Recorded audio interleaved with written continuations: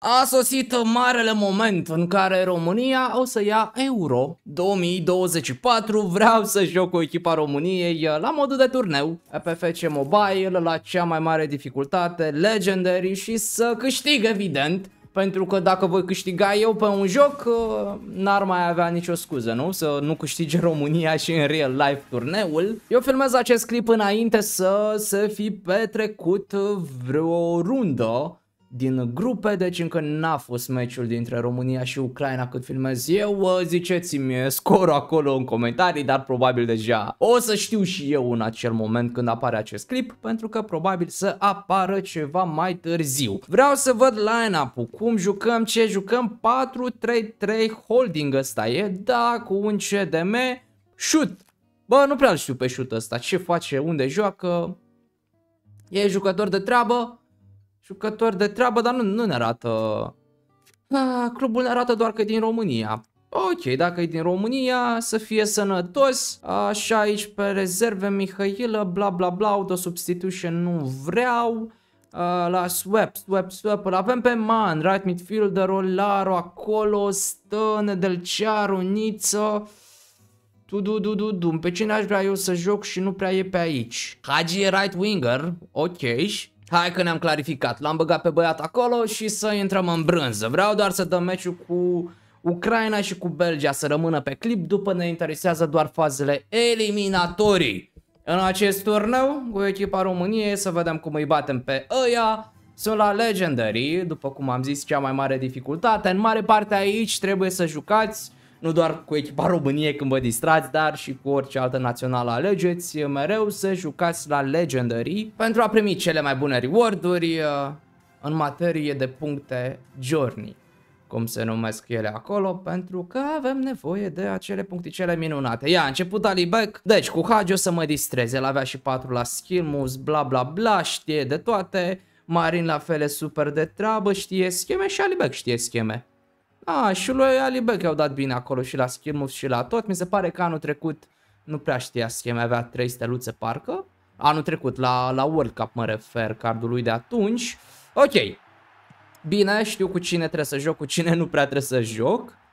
Uh, în general, porneam să zic, la Legendary trebuie să joci fără sprint, așa chill, cu pase, să faci niște scheme 1-2 și cam așa, marchezi și scap de toate. Bun, drăgușin acolo! S-a impus în fața adversarului, drăguț.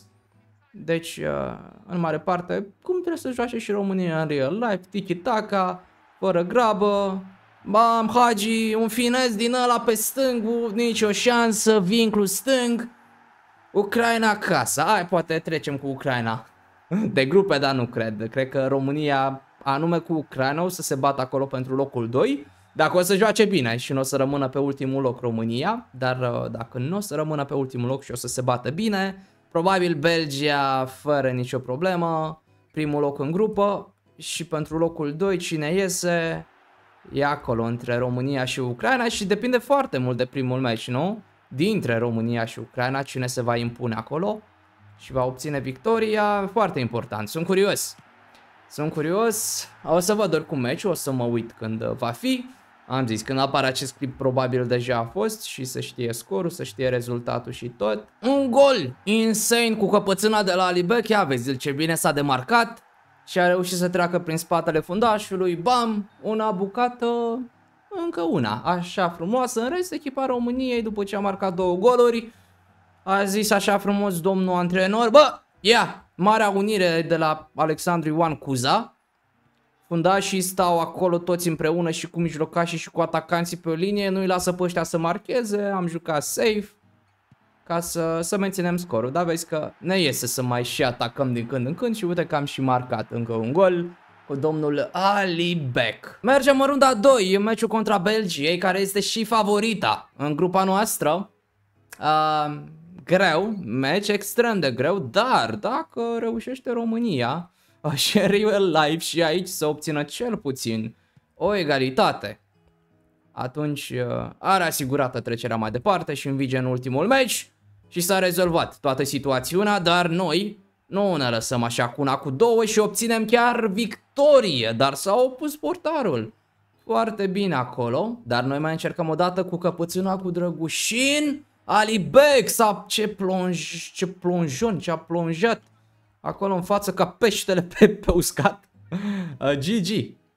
Încearcă să-și rupă căpățâna pentru gol. Uh, nu mă așteptam să meargă așa pasa asta through, dar cumva a ajuns-o totuși shoot.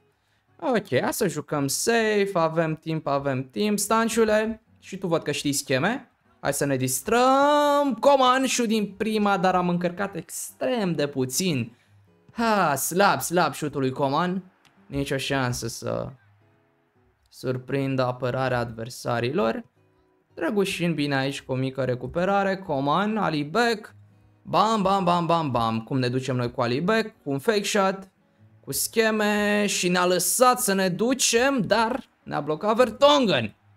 Știe joaca aia, Vertonghen are 100 de ani mi se pare Vertonghen, săracul e vampir de pe vremea lui Țepeș, de când îl știu că tot joacă la, la Belgia. Uh, hai să dăm o pasă aici, Alibec un finez de la distanță, a fost pe poartă, a fost pe poartă, mi s-a părut la, la ce traiectorie avea mingea că se duce mult peste și am zis, bă, come on, parcă n-am încărcat atât de, de mult șutul ăsta, dar vezi că s-a dus urât. Nici șutul ăsta pe jos n-a mers, l-a parat. Portarul, dar bine pe pasă Denis Mann cu un asist de senzație și obținem avantaj în acest match dificil. Comand pentru Alibek, Alibek pentru Hagi acolo, Hagi, hai să fugim puțin așa pe flank. Ne ducem, ne ducem, ne ducem, scheme pe scheme și ne-a luat mingea până la urmă, dar uh, s-a distrat puțin acolo cu defensiva Belgiei, domnul uh, Hagi. Și a amintit așa puțin de, de genele sale, a lui Gică Hagi senior. Și a zis că stai așa, trebuie să-mi bat puțin joc de ăștia, să le arăt cine sunt. Domnule Șut? Bă, dar cum să ai numele Șut, căman? Să ai numele Șut și să fii fotbalist. Numai în România cred că sunt posibile astfel de coincidențe. Ești nebună și Pușcaș, tot cumva știi, Pușcaș, Pușcă de, de tot are legătură cu fotbalul, dar mai mult la băiatul ăsta Șut mișto. O mare mică harababura aici cu Stanciu.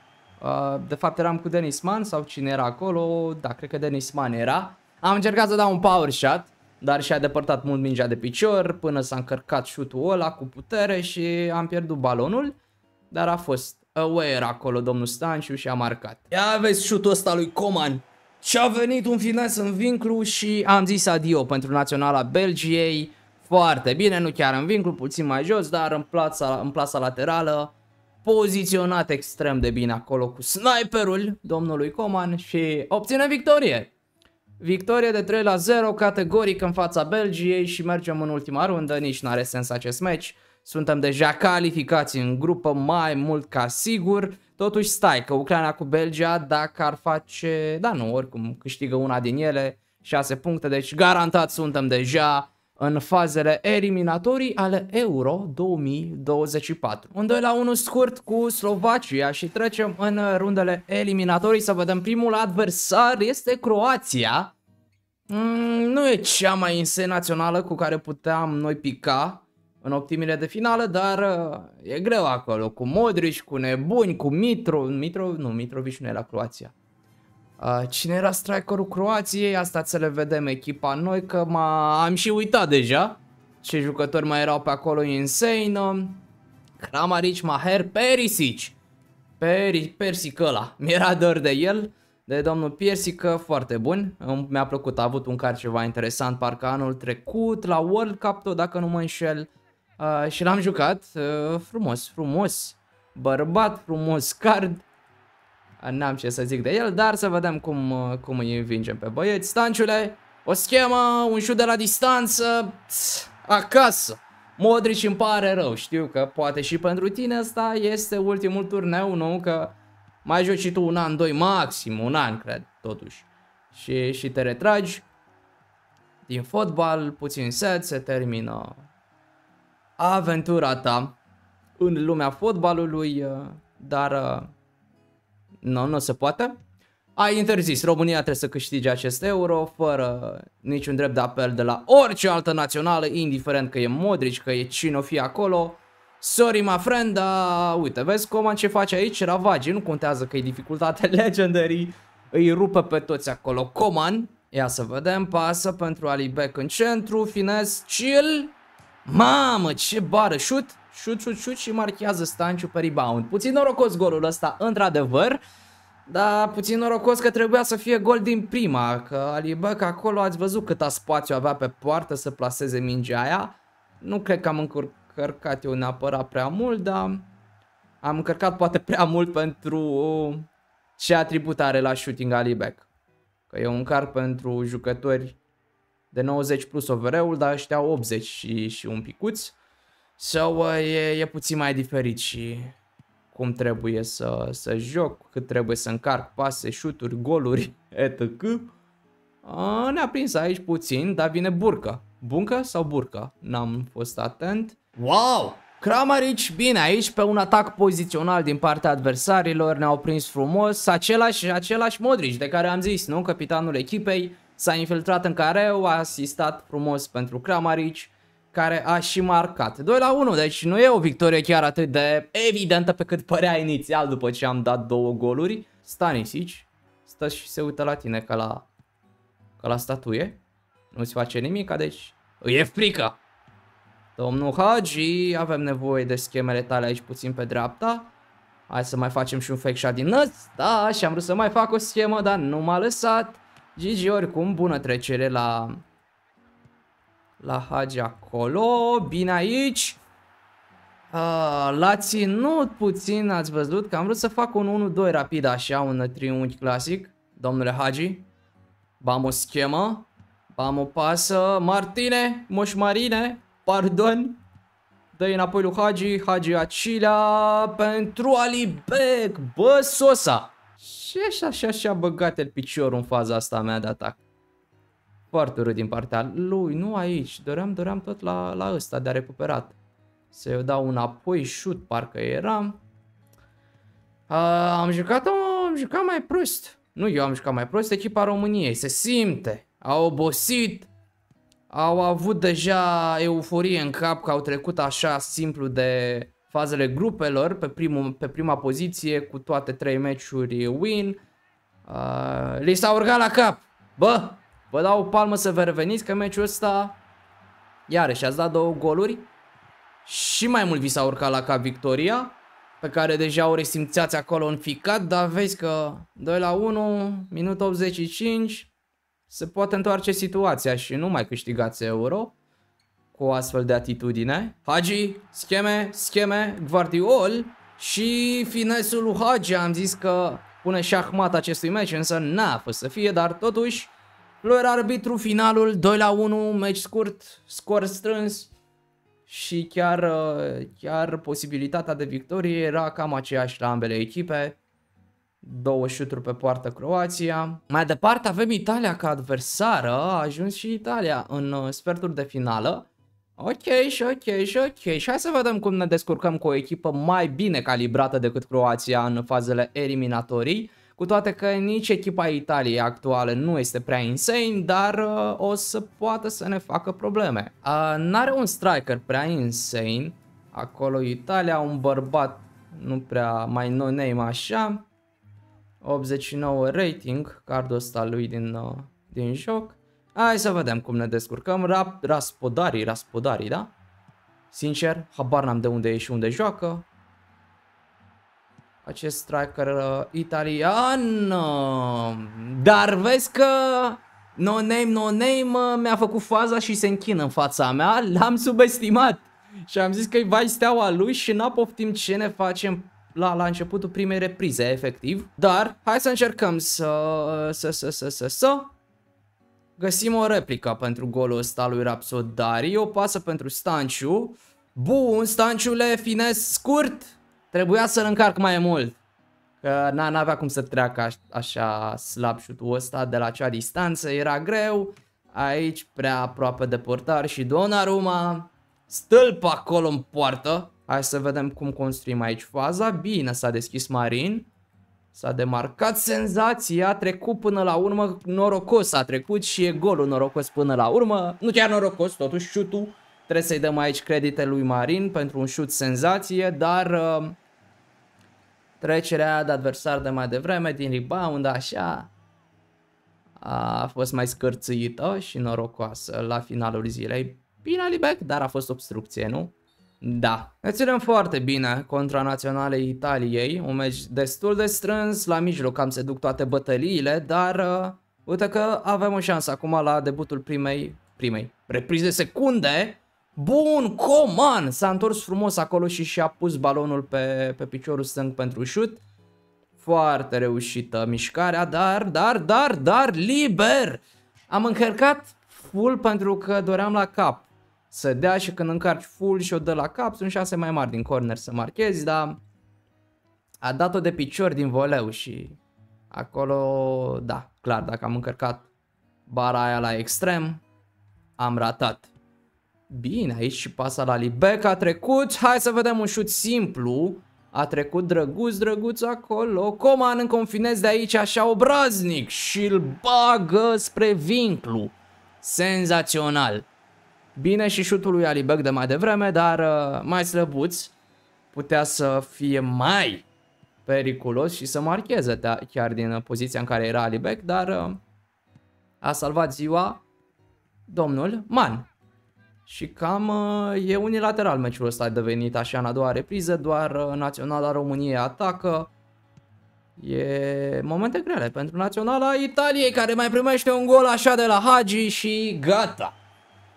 S-a zis adio și cu Naționala Italiei, trecem mai departe. Am demonstrat cine e șeful acolo și în fața naționalei Belgiei și în fața Croației și în fața Italiei, trei naționale de top în mod tradițional, dar să vedem acum.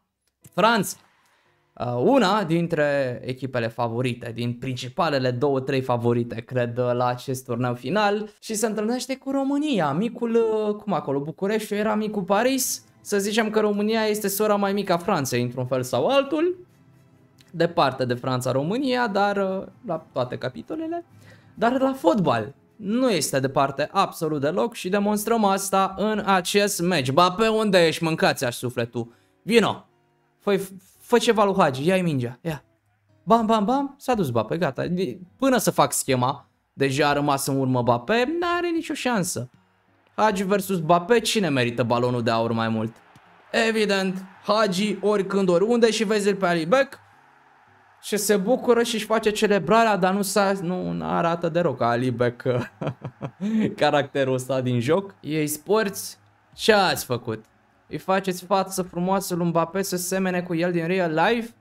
Dar lui Alibek nimic ce oamenii galben. Nu, nu fi așa agresiv nu râp pe picioarele la băieții mei, știu că asta este singura modalitate prin care vă puteți impune în fața noastră, dar come on, hai să fim și noi fair play acolo, bine, n-am reușit să dau pasă din prima cu Alibek, dar am reușit cu a doua pasă, vine domnul șut, îi preumblă pe ăștia, le arată pe unde este calea să treacă, să iasă de pe stadion cu rușine și cu fața pusă în jos.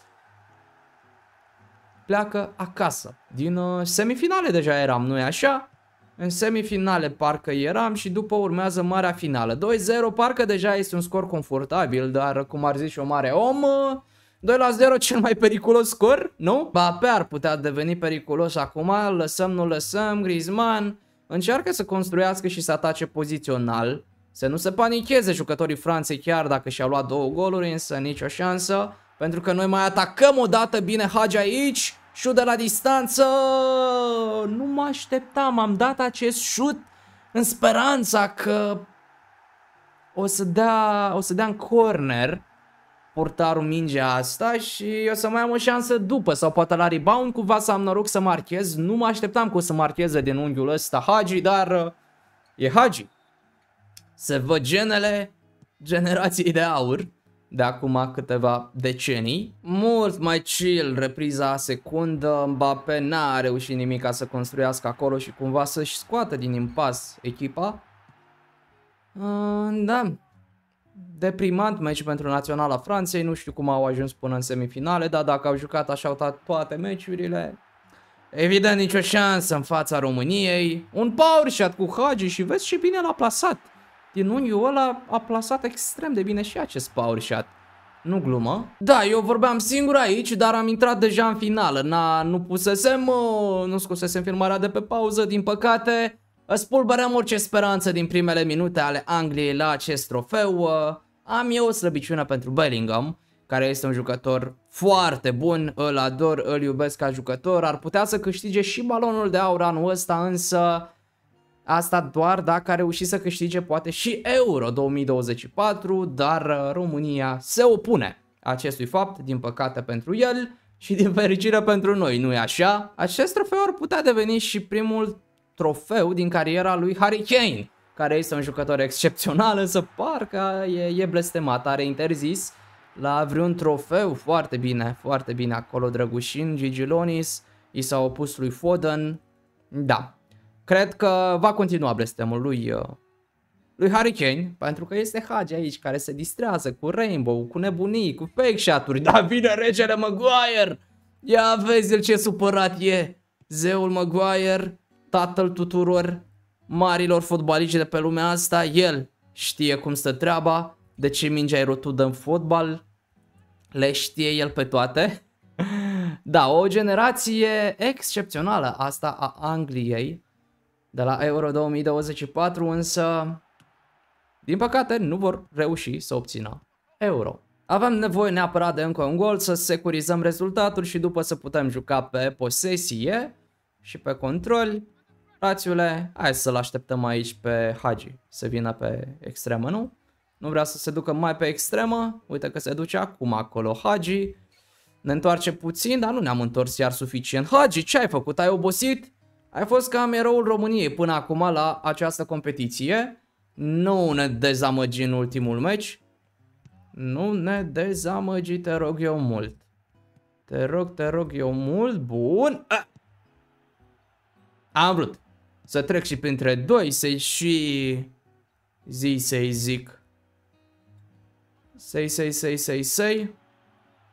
Ok, n-a fost gol ăsta. Ia, Alibek, Trece de Maguire, Ali Beck, zeul fotbalului Maguire, n-a reușit să oprească taifunul României. Denis Alibec. Sunt curios, Pușca și mi se pare că e convocat și el la națională sau nu mai știu. Sunt curios dacă o să joace în meciurile de la Euro, că mi-e frică așa cu el. Dacă mai vine o minge în cap random și, și mai marchează din greșeală și câștigă România Euro așa, o să zică toată lumea că din noroc a câștigat, nu din skill. Și mai bine să nu se întâmple așa. Sau ceva, ori cu noroc, ori fără, dacă vine Euro, e cupa aceste competiții, vine România, e binevenită, evident. 3 la 0, mai sunt șanse pentru Anglia să facă ceva, nici Bellingham, nici Maguire, nimeni nu mai salvează în acest moment. Harry Kane duți blestemul pe umeri mai departe, această povară rămâne acolo cu tine pentru că Alibek a vrut să pună punct acolo la orice speranță și să marcheze al patrulea gol, dar nu i-a reușit totuși, minut 86, slabe șanse spre nule să mai dai 3 goluri, evident și la acum a decurs acest meci. Cred că n-a avut niciun șut Anglia pe poartă. Adio! Adio. Dar lasă faza asta arbitru, ia vezi -l. Dă golul de onoare Harry Kane? Nu se poate. Se opune România. Adio cu mingea asta și obținem cupa. Ia vezi de ce se bucură și Hagi acolo e în centru atenției. Cine ridică cupa? Capitanul Stanciu, nu? N-arată deloc ca Stanciu nici caracterul ăsta, dar Ridicăm cupa. Suntem campioni la Euro 2024. Cel puțin uh, pe joculețul nostru favorit, uh, FC Mobile. Acum să vedem. Uh, realmente ce performanță vor reuși băieții României la competiție. Cred că ar fi un rezultat extrem de bun dacă a reușit să iasă din grupă, sincer.